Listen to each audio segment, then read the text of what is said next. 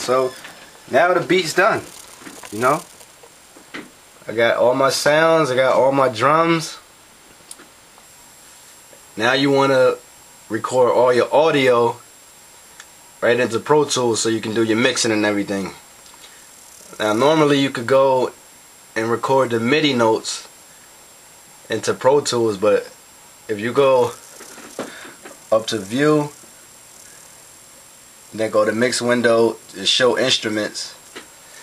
You'll notice that when you try to apply the MIDI channel you notice that when you go to try to apply the, the module to uh, the MIDI channel in Pro Tools it, it looked like a mess. Like this is all the different parts that make your modules in Reason.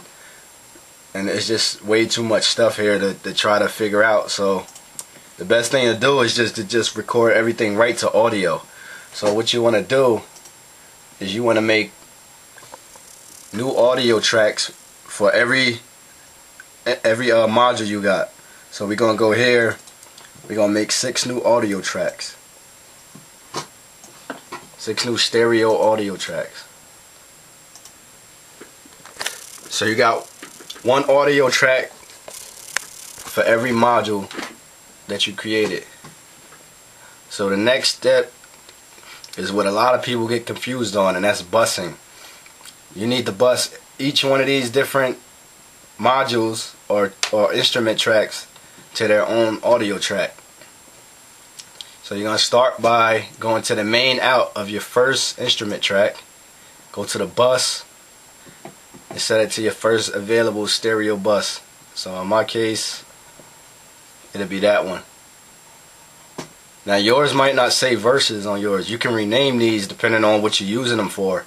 And the, my last session, I was busting stuff to a, a aux track named verses. So that's why this says this. Yours might say bus one and two stereo.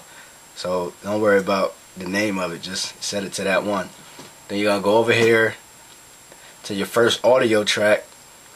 Set the input to that same bus. Boom.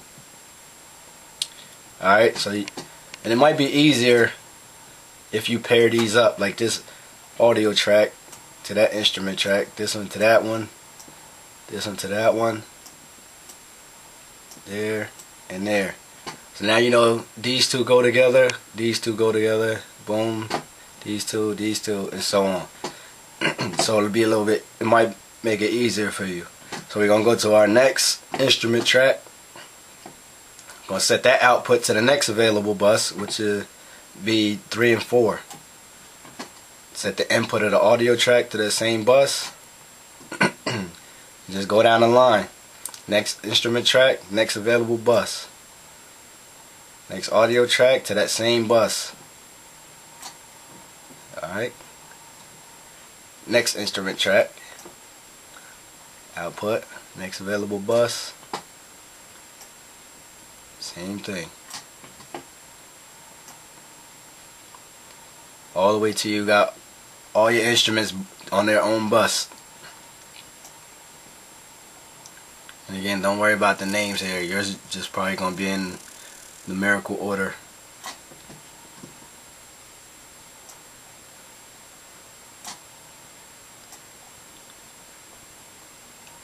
Alright.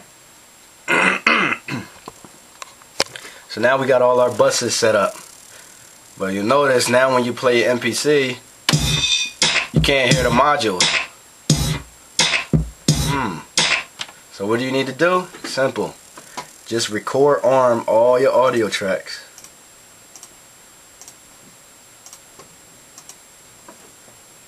Alright? And, and go up to, to track and make sure right here where it says auto input make sure that's set to input only. Alright? And you just go back into your thing hit play on your MPC and your sound should be there.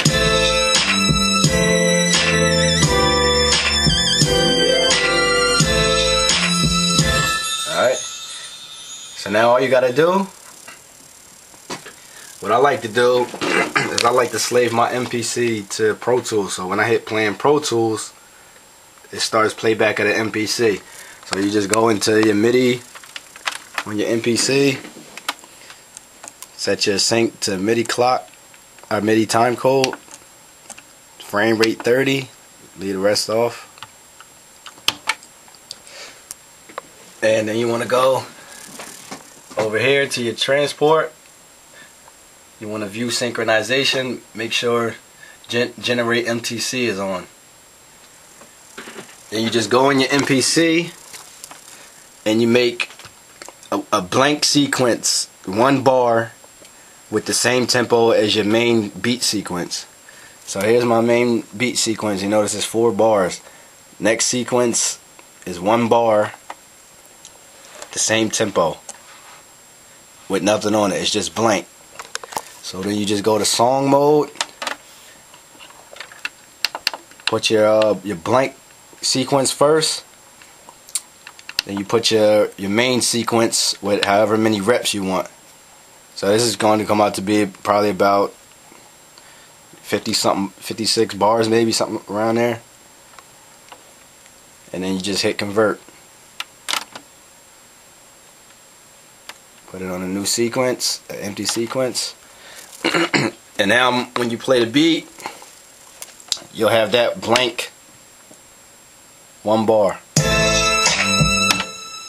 The reason you have that there is because MTC even though it's more accurate than than uh, MIDI clock it, it takes a while before Pro Tools and, and uh, the MPC links up. So you need that blank space in there before uh, before the beat will come on. So the beat doesn't start halfway through the through the first bar.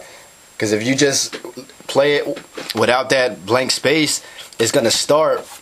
But when the actual audio comes through, it's gonna be like halfway through bar one, and I, I'll show you what I mean. So right now I got generate. When I hit play on on Pro Tools, the MPC is gonna start, and you'll notice that it's gonna it's gonna leave out a little bit of the beat at first.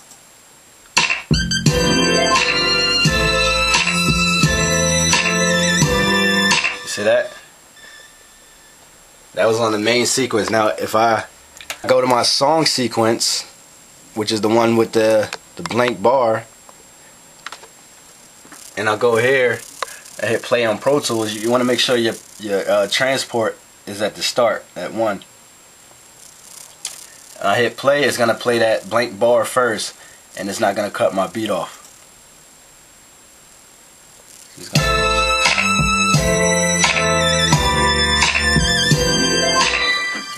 Pretty much this right now was set up just the way it is in the MPC. Right here is bar 1 and the MPC that's blank. Same thing. Right here on bar 2 in the MPC is where the beat starts. Same as the MPC.